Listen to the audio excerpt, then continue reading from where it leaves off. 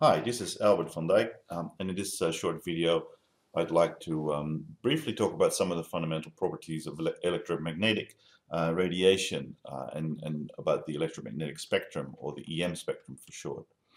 Um, so although this is obviously not a physics course, you got to understand some of these fundamental properties of radiation to be able to apply them uh, in a remote sensing context.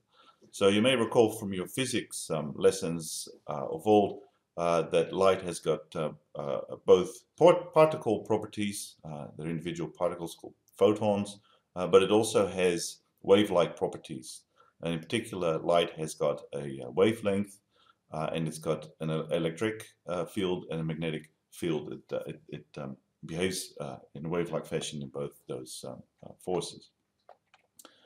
Um, and um, uh, you may also know that the, the speed of light is a constant, all light moves at the same uh, rate and therefore um, the frequency, uh, so the number of waves that passes through a point uh, over a second, uh, which we can also call hertz, uh, that's a, a, a, short for how many per second, um, that is directly linked to the wavelength.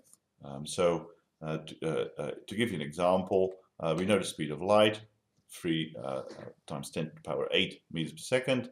Um, and so if we know a particular wavelength, for instance, we know uh, that the uh, particular wave, the uh, radiation of interest has a wavelength of um, 0.3 meters, then we can uh, divide uh, the speed of light by that wavelength, and from that follows the uh, frequency, in this case 10 to the 9th hertz, or because um, we've got lots of orders of magnitudes, when talking about EM radiation, uh, we like to use things like gigahertz in this case, uh, which uh, incidentally, uh, 1 gigahertz is about the frequency that your mobile phone will be using.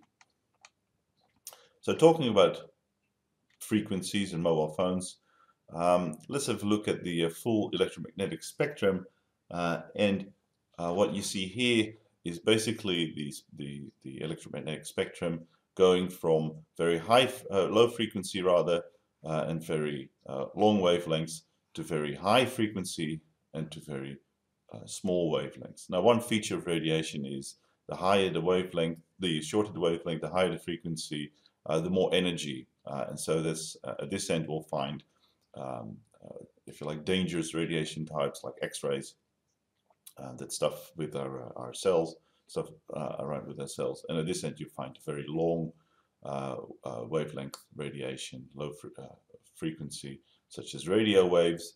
Uh, and as you start increasing frequency, we come across microwaves, as used not only in your microwave machine at home, but also in things like mobile phones, for instance, and in radar, as we'll see later, and going through infrared, which is the, the, frequency that um, our surrounds and ourselves emit uh, in, as we'll see later, and then into the visible part of the spectrum, which is the only little part of the, the full spectrum that we can actually see.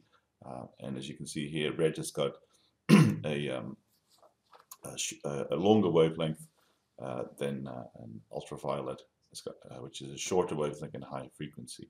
Uh, and again, it's for that reason that as we go to the high frequencies, we start to have more health risks associated with ultraviolet radiation. As you know, uh, that's why you um, slip, slap, slop in summer. Uh, and moving on to X-rays, and then uh, they call it hard X-rays, and we won't talk much about that in this course. So here's the full spectrum, uh, and um, some of the the, um, the names we give to different parts of that spectrum for uh, good reasons. Uh, looking at it in much more detail, again, you see pretty much the same thing. You see the wavelength uh, decreasing, uh, forget the wave number, but you see the energy increasing uh, and the frequency increasing, as we talked about before. Uh, and um, just to give you a little bit more sense of some of the uses, we see here the broadcast and wireless and, and the radar sort of uses. Your Wi-Fi operates in about 2.4 gigahertz. Um, you see the um, uh, uh, some of the uh, medical um, EM frequency they're using imaging. You see the infrared, and again um, some of the other things we talked about, the X-rays, the baggage screening, and so forth. So just sort of repeating, I suppose, with some more detail what we saw before.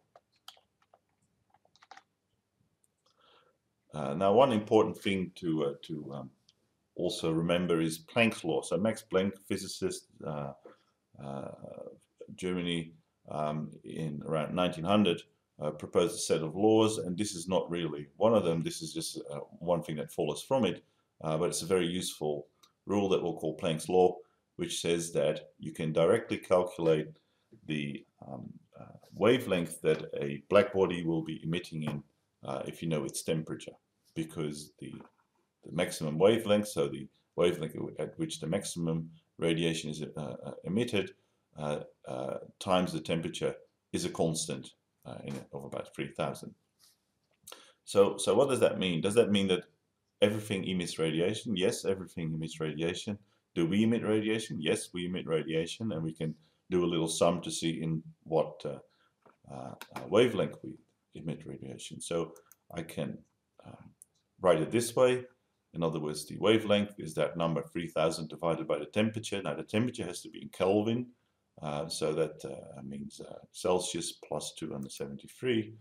Uh, and so we can divide 3000 by that number, the uh, absolute temperature in Kelvin, and we'll find that the um, wavelength that we apparently are emitting in is about 10 uh, micrometers.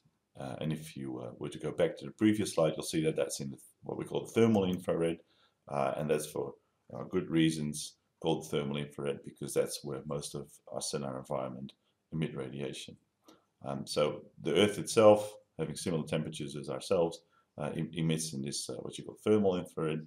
Uh, but if you look at the sun itself, uh, the source of, of what we see, then you see it's obviously far hotter and therefore emits in a much shorter wavelength. and indeed, it emits in the visible wavelengths primarily.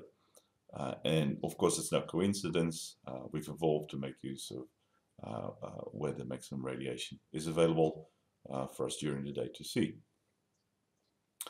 Um, a bit of units here, I suppose, so we can use micrometers, um, um, one millionth, we can use millimeters, centimeters, and so forth. And uh, right throughout this course, you'll see these units being thrown around, and you may from time to time have to look up what is a micrometer, what is a nanometer, what is a gigahertz, uh, and, of course um, you can find all that in your uh, usual tables or online. Um, and with that, I think this is a, a little short crash course in uh, the electromagnetic spectrum.